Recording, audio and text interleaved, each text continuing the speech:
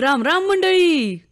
एका क्लिकवर जगाला कवेत घेऊ पाहणाऱ्या आधुनिक जगात असे शब्द ऐकले की चटकन आपले कान आजही त्या दिशेने टवकारले जातात.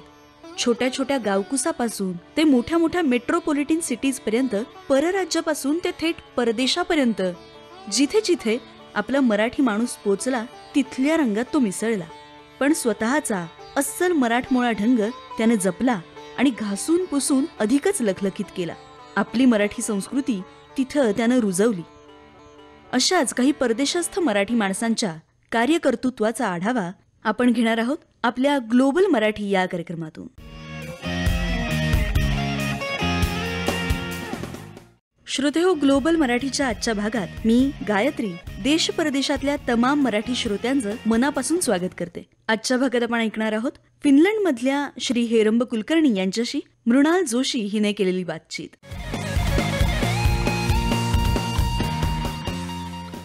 नमस्कार श्रोते हो. ग्लोबल मराठी या नव्या कोऱ्या कार्यक्रमात सगळ्यांचं मनापासून स्वागत. आज आपल्याबरोबर आहेत श्री हेरंब कुलकर्णी. मूळचे अर्थातच भारतीय असलेले गेल्या पंधरा वर्षांपासून फिनलंडमध्ये राहतात.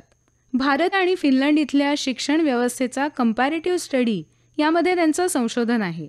त्यांनी काउन्सिल फॉर क्रिएटिव्ह एज्युकेशन ही संस्था सुरू करून जगभरातल्या देशांच्या शिक्षण विभागाला ते मार्गदर्शन करतात. भारताशी विशेष नातं निर्माण व्हावं म्हणून एक टुरिझम कंपनी ते चालवतात. आणि याचबरोबर सामाजिक कार्यातही त्यांचा मोठा हातभार आहे. आणि विशेष सांगायचं म्हणजे देशविदेशातल्या शिक्षण क्षेत्रात फिनिश क्रिएटिव्ह एज्युकेशन रुजवण्यासाठी फिनलंडमधल्या टाम्पेरे शहराचे ते ब्रँड अँबॅसेडर आहेत. तर अशा मल्टी फॅसेटेड हेरंब कुलकर्णी यांच्याशी आज आपण गप्पा मारणार आहोत. सर तुमचं या कार्यक्रमात मनापासून स्वागत करते. नमस्कार धन्यवाद. सर सुरुवातीलाच हे जाणून घ्यायला आवडेल की फिनलंड आणि भारतीय शिक्षण व्यवस्था यांचा कम्पॅरेटिव्ह स्टडी करावा हा विचार तुमच्या डोक्यात कसा आला? मुळात म्हणजे कम्पॅरेटिव्ह स्टडी हा एज्युकेशन फील्ड मधला शिक्षण क्षेत्रातला एक वेल नोन स्टडी मेकॅनिझम आहे. दुसऱ्या देशाकडनं काहीतरी शिकणं दुसऱ्यांच्या अनुभवातनं शिकणं हा. एक वेल नोन रिसर्च मेथड आहे ऍक्च्युली मी फिनलंडला जेव्हा आलो तेव्हा इथली समाज रचना बघितली तेव्हा काही काही गोष्टी अतिशय जाणवल्या की ही समाज रचना काहीतरी वेगळी आहे. नॉर्मल जगात ज्या गोष्टी ऑब्व्हियस नसतात त्या. इथं गोष्टी खूप ऑब्व्हियस असतात ऑनेस्टी.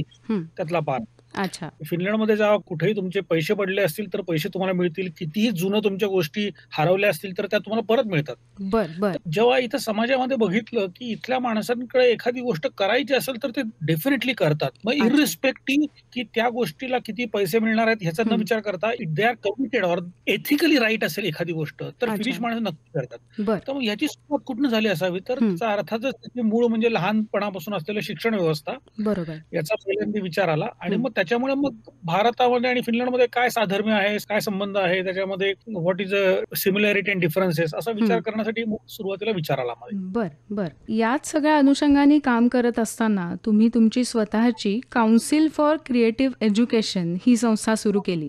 तर या संस्थेबद्दल थोडं सांगाल का? म्हणजे ही संस्था का सुरू करावीशी वाटली आणि त्या संस्थेच्या कामाविषयी थोडंसं? नक्कीच मुळात म्हणजे मी फिनलंडमध्ये दोन हजार पाच साली आलो त्यानंतर आम्ही इथं समाज रचना बघितली काय चाललंय बघितलं तेव्हा. माझं पूर्ण बॅकग्राऊंड वेगळं होतं आणि एज्युकेशन टेक्नॉलॉजी या विषयात मी काम करत असताना जेव्हा मला इथल्या शाळांशी संबंध आला. तेव्हा कळलं की यार इथली शिक्षण पद्धती वेगळी आहे शिकवायची पद्धती पण वेगळी आहे आणि ओव्हरऑल एज्युकेशनकडे जो अप्रोच म्हणून बघतात फिनिश माणसं तो पूर्णपणे वेगळा आहे एक तर अगदी पीएचडी पर्यंत सगळ्यांना शिक्षण पूर्णपणे फ्री आहे दुसरी गोष्ट. म्हणजे अगदी वय वर्ष सत्तरचा माणूस तुमच्या युनिव्हर्सिटीमध्ये असू शकतो. तुम्ही तुमचं करिअर कधीही चेंज करू शकता सो दॅट तुम्ही वयाच्या चाळीसाव्या वर्षी तुम्हाला जर वाटत असेल की तुम्ही कॉम्प्युटर इंजिनियर आहात आणि नंतर. तुम्हाला कार्पेंट्री करायची तर. तुम्ही करू शकता ह्या सगळ्याचं मूळ जो गाभा आहे तो. म्हणजे इथे असलेल्या शिक्षणाकडे बघायचा अप्रोच हं, लाईफ लॉंग लर्निंग असा आहे आणि दुसरा कॉन्सेप्ट आहे इथं म्हणजे लर्निंग बाय डुईंग म्हणजे जे हो. काय तुम्हाला करायचं आहे अभ्यास करायचा आहे शिकायचं आहे हं. ते पहिल्यांदा हाताने करून बघा की जेणेकरून त्याच्या माध्यमातून अनुभवातनं शिका एक्सपिरियन्शियल लर्निंग. हे जेव्हा सगळं मी माझ्या इनिशियल कामाच्या माध्यमातून शिकायचा प्रयत्न केला तेव्हा आम्हाला कळलं की there is something that we need to learn from this system आणि हे करत असताना नुसतं as a part of information ऐवजी why not to start it as a actual venture आणि दोन हजार तेरा मध्ये याचा एक रिसर्च प्रोजेक्टचं कन्व्हर्जन एका मोठ्या ऑर्गनायझेशनमध्ये झालं. बर. So how it started actually great great मुख्यतः या संस्थेचं काम म्हणजे तुम्ही ट्रेनर्स ट्रेनिंग करता. ते कुठल्या कुठल्या देशांमध्ये आणि कुठल्या विषयांवर चालू आहे सध्या? सो सीसी आमची ऑर्गनायझेशन जे आहे त्याचा मूळ उद्देश क्रिएटिव्ह पेडागॉजी असा आहे. फिनलंडमध्ये जवळपास दरवर्षी साठपेक्षा जास्त देशांमधनं शिक्षक principals government officials minister of education असे इथे येतात. त्यांचं ट्रेनिंग इथं होतं आमच्याकडे. आणि त्या माध्यमातून आम्ही त्यांना ट्रेन करतो. शिवाय जवळपास वीस देशांमध्ये आमचं काम चालतं. अजून स्पेसिफिक म्हणजे आम्ही आमच्या स्कूल डेव्हलप करतो बेस्ड हं. On the Finnish creative curriculum थोडक्यात फिनिश करिक्युलम जगभरात इम्प्लिमेंट करण्यासाठी असलेलं लायसन्स आणि त्याच्याबद्दल ऑथरायझेशन आमच्याकडे आहे. आणि. त्या माध्यमातून आम्ही जगभरात शाळा चालू करतो. बर एक छोटासा मुद्दा सांगायचा आहे कारण की. त्याच्याबरोबर काम करण्यात आम्हाला खूप आनंद वाटला होता. आम्ही दोन हजार सोळा मध्ये गव्हर्नमेंट ऑफ छत्तीसगड बरोबर काम करायला सुरुवात केली. कारण की छत्तीसगडने स्वतः विचार केला की आम्हाला काहीतरी नवीन जगातनं शिकायचं आहे म्हणून बरोबर. त्याकरता त्यांची मिनिस्टर ऑफ एज्युकेशन प्लस त्यांची अख्खी टीम आणि त्यांचे टीचर्स फिनलंडला आले त्यांनी. याचा अभ्यास केला. त्याच्याकरता छत्तीसगड मधल्या चाळीस हजार शिक्षकांचं ट्रेनिंग आम्ही त्या वेळात घेतलं. म्हणजे या निमित्ताने शिक्षकांना ट्रेनिंग देऊन त्या माध्यमातून विद्यार्थ्यांना कसं सक्षम बनवता येईल अशा पद्धतीचं हे सगळं काम सुरू आहे. या कामाबरोबरच तुमची स्वतःची टुरिझम कंपनीही आहे ती तुम्ही चालवता. भारतीयांना तिथल्या गोष्टी दाखवणं तसंच तिथल्या पर्यटकांना भारताची आणि भारतीय संस्कृतीची ओळख करून देणं हा वैशिष्ट्यपूर्ण उद्देश यामागे आहे. तर ही कल्पना काय आहे? दोन हजार दहा सालापर्यंत माझं काम चाललं होतं इथं आणि भारताच्या बाहेर जेव्हा माणूस येतो भारतीय. माणूस येतो तेव्हा तो जास्त भारतीय होतो.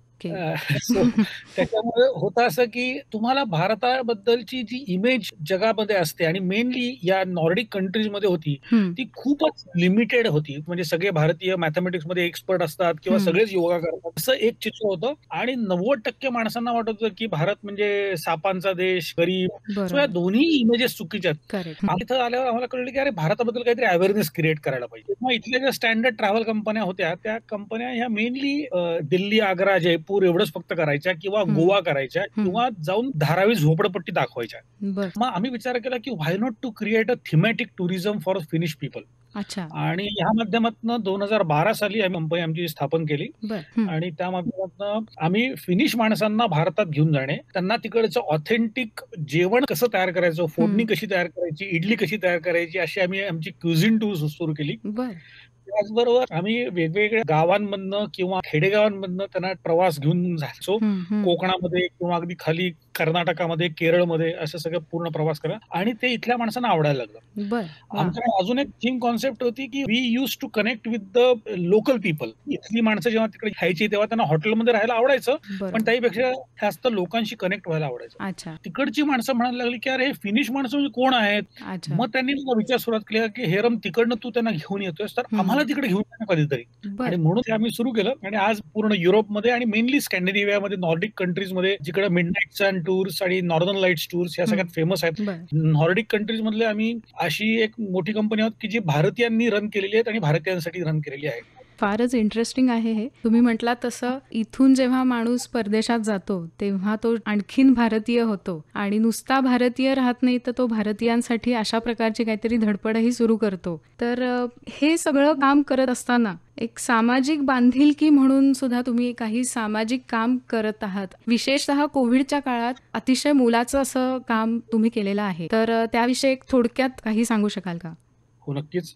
भारताच्या बाहेर आणि भारतामध्ये सुद्धा एक जागतिक दर्जाची संस्था आहे जी सेवा क्षेत्रामध्ये शिक्षण क्षेत्रामध्ये आणि सगळ्या असलेल्या आपत्ती कालामध्ये सपोर्ट देणं ह्याचं काम बघते. जेव्हा कोविड नाईन्टीनची पहिली वेव्ह होती तेव्हा कदाचित भारतामध्ये बऱ्याच गोष्टी वेल मॅनेज होत्या. आणि that was a very good case actually second wave was very like terrible जास्त भीतीदायक होती बरोबर. हा आणि मग तेव्हा आम्हाला कळलं की this is we should do something about it. तिकडे जास्ती गरज होती ती ऑक्सिजन कॉन्सन्ट्रेटरची ते ऑक्सिजन कॉन्सन्ट्रेटर जगाभरात मिळत नव्हते तो आम्ही आमची एक टीम सेटअप केली आणि आम्ही चार महत्वाची कामं केली एक तर. ऑक्सिजन कॉन्सन्ट्रेटर जगभरात जिकडं कुठे मिळतील. तिकडनं ते सोर्स करणे आणि भारतात पाठवणे आता पन्नास हजारापासून दीड लाखापर्यंत एक कॉन्सन्ट्रेटर मिळायचं आणि असे. आम्ही तिकडनं मिळाले ते तिकडनं घेतले ह्या कामामध्ये युरोप मधले पंधरा देश होते पंधरा. देशातनं भारतीय माणसं काम करत होती दुसरी महत्वाची गोष्ट म्हणजे इथल्या असलेल्या भारतीयांना.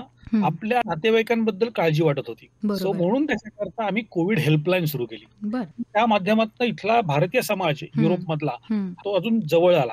दुसऱ्या प्रकारचं काय म्हणजे ह्या सगळ्याबद्दलचा अवेअरनेस क्रिएट करणं म्हणजे व्हॅक्सिन घेण्याबद्दल. किंवा टेस्टिंग करण्याबद्दलचा अवेअरनेस क्रिएट करणं. आणि. चौथा आणि सगळ्यात महत्त्वाचा पार्ट जो आहे.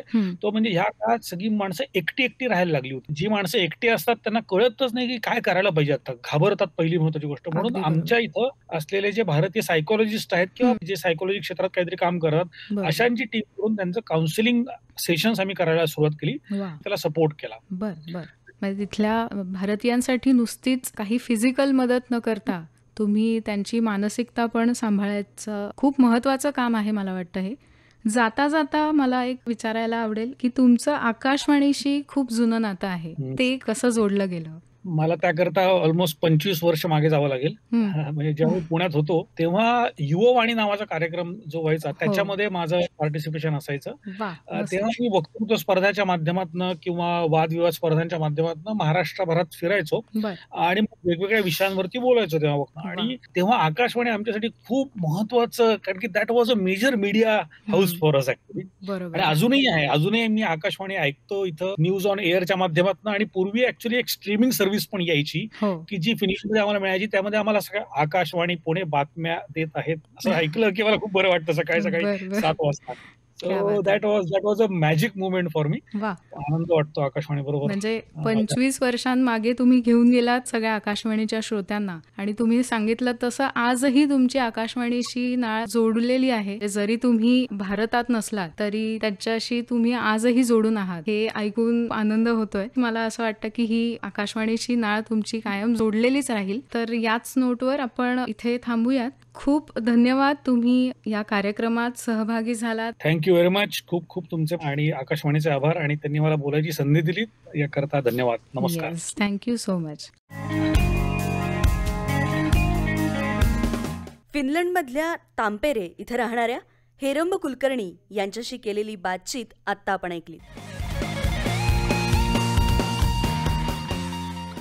आता ऐकूयात ग्लोबल मराठी या कार्यक्रमासाठी श्रोत्यांची ही प्रतिक्रिया.